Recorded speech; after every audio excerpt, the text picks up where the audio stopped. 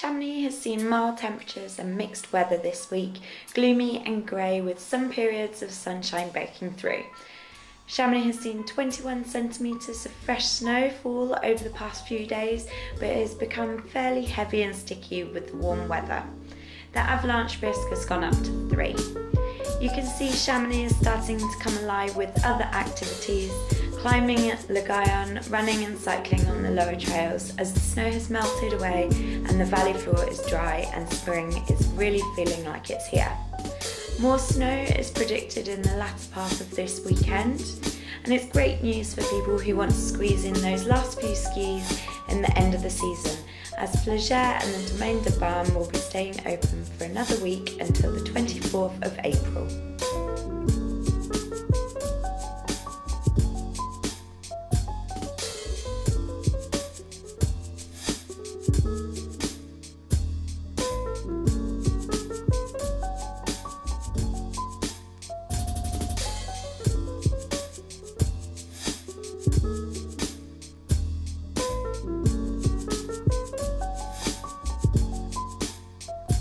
This weekend on Friday night, there's live music from Lulu Acoustic Trio at Ute Cafe and from Nova Beck featuring Jonas at Munster Bar. Chamonix Saturday Market is held in the centre of town and it opens from 8am. Pass Park Out Session at Les Houches is a jib contest in Les Houches Snow Park this Saturday and it's free to enter and open to all. Pass Park Out Session is a battle to throw down your best tricks.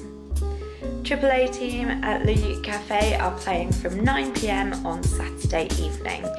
And as usual, on Sunday daytime, you can head to Le Vert for roast dinner and Bighorn Bistro for brunch. Thanks for watching, have a fantastic weekend, and I'll see you again on Monday.